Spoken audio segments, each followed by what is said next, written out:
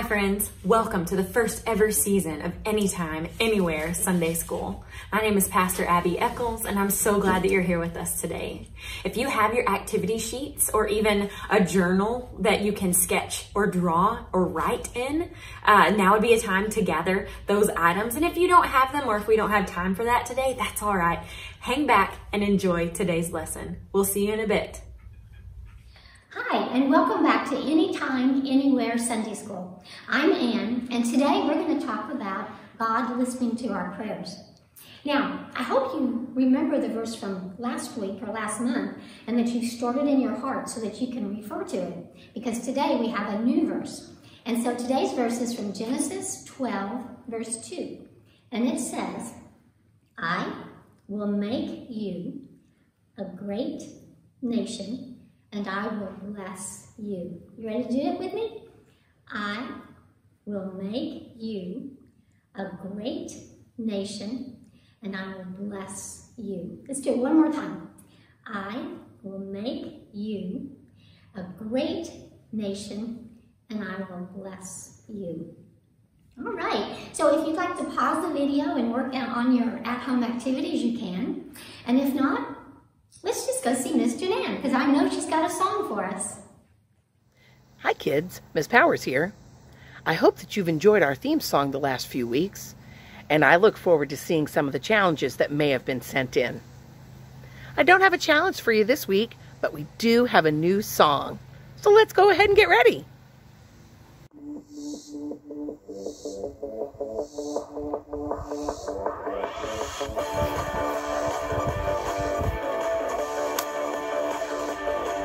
Don't worry about anything, instead pray about everything. Tell God what you need and thank Him for all He has done. Don't worry, instead pray. Don't worry,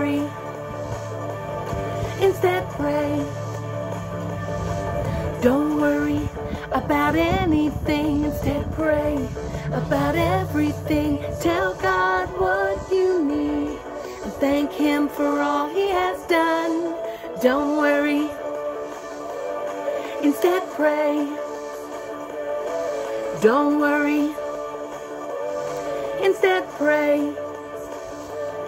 If you do this, if you do this, his peace will guard our hearts and minds as we live as we live, as we live in Christ Jesus.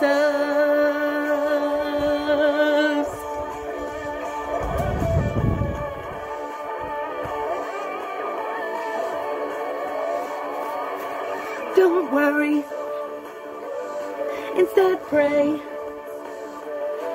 Don't worry, instead pray. Instead pray.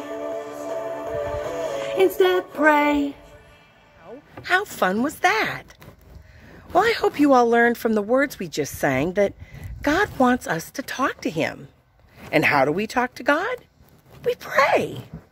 And you can pray anywhere and everywhere about anything and everything. God's waiting to hear from you. Take it away, Anne.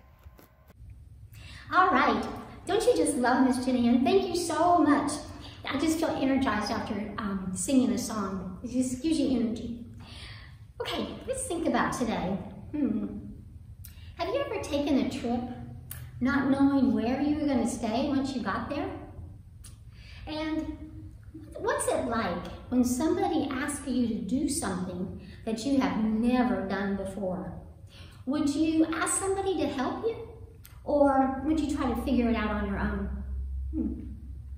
Well, how about pausing the video and um, thinking about those questions and maybe even writing it down in your journal. All right, well, I hope you had time to do that. And, you know, every time I hear a Bible story, it seems like I learn something new each time. So let's go to Gil and Francis and see what they can tell us about Rebecca and Isaac. Hi, boys and girls. Welcome back to Story Time. Now, if you'll remember in our last episode, no, no, dressing rooms over there. Go, go, go, go. Huh, okay. So, anyway, promised the land they were living in to all of Abraham's descendants that would number like the stars. But so far, Abraham had one descendant, Isaac, who was born in his old age. So he thought, well, what are we going to do? This is how God worked it out. Uh, uh, Mr. Abraham! Uh, Mr. Abraham, sir, huh? Uh, you, huh? you wanted to see me. Oh, yes, yes. Yes, my long time and most beloved servant. How are you, Bill? Bob. Bob.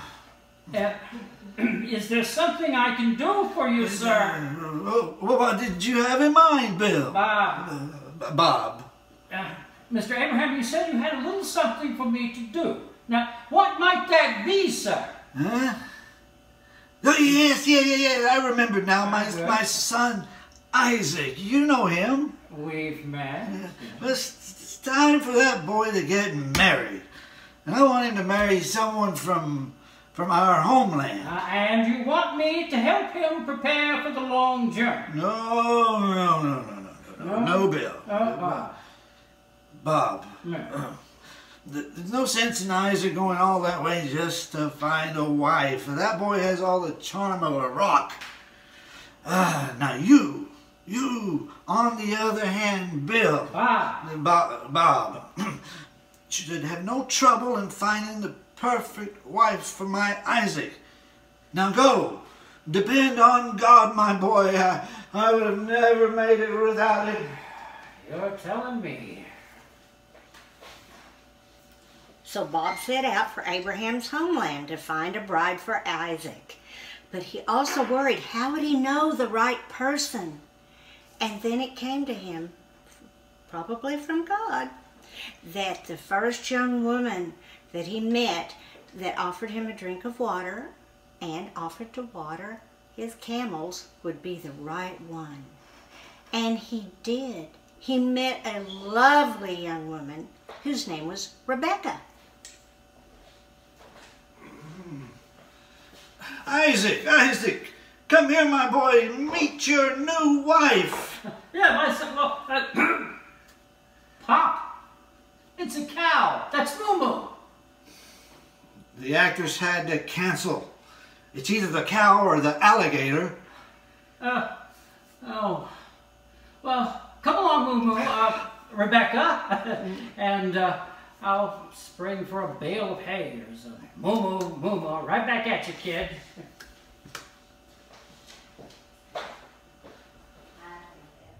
Don't you just love our Bible story team? They just do such a great job.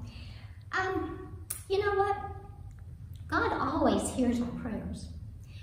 And he answers our prayers. Now, sometimes we may not get the answer that we'd like, but God always answers in the best way for us.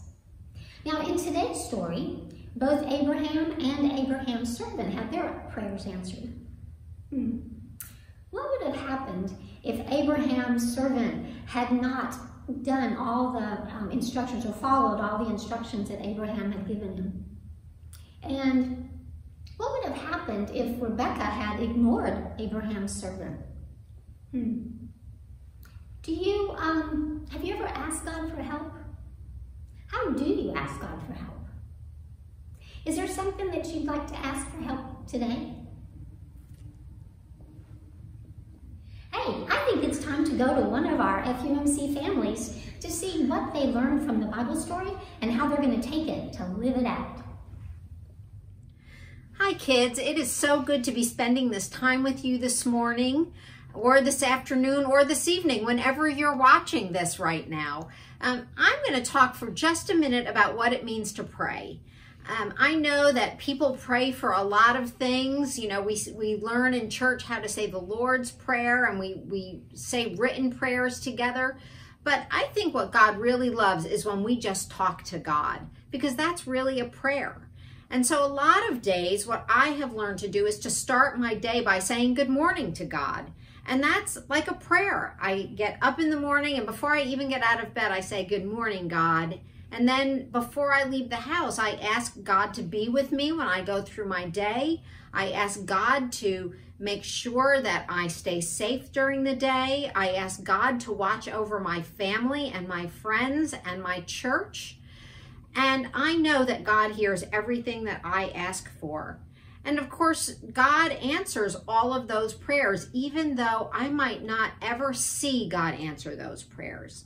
Because you know what I've learned is really cool is that God asks us to share whatever is on our heart. And we know that when we share whatever's on our heart with God, that God hears our prayers and answers them the best way God knows how. Sometimes we don't know how God answers our prayers, and sometimes uh, we might not even be happy with the way God answers our prayers. But you know what? That doesn't mean God doesn't love us. What that means is, is that God always knows what's best for us. And so what I would say to you and what I used to say to my boys when they were growing up is when you get up in the morning, remember to say thank you for the day. Remember to ask God to be with you during the day, to, to know that God is with us during the day, and that when things are, are sometimes hard, the way things can happen during the day, to just say, God, please, please help me right now. I need some help and I need to do the right thing or say the right thing. And I know that God will answer your prayer in a way that you might not even realize it's God helping you. And so I hope that you will do that. I hope that you know how much God loves you. And I hope you know that God wants to talk to you. He wants to hear your voice and he wants to know that you love God. And so I hope that you will do that and that um, you will remember that you're never away from God because God is always with you. I'll see you soon, kids. All right, thank you so much. Wasn't that a great idea? Our families are really very creative, aren't they? Well, you know what? I think it's time to say goodbye. But before we do, let's pray. Will you pray with me? Dear God, you are so incredibly wise and loving. Thank you for guiding us to make good decisions. Help us to remember to ask you for help and to listen for your answers.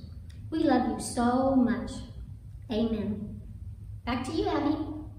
All right, awesome. Thanks so much for joining us for today's episode of Anytime, Anywhere Sunday School. Now, as we end our time together today, we always end with blessings. So if you would lean close to your screen, or you can sit right where you are, and we'll give you blessings. Are you ready? Here we go.